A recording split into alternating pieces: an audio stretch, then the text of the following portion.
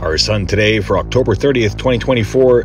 No major solar flares to report, but some notable large plasma filament eruptions being shown here. Northwest region, we did have that large plasma snap shown in the last short. There it is there. And then opposite and antipode to that, there was a large plasma filament eruption that let go today that did produce a large coronal mass ejection from that plasma filament snap.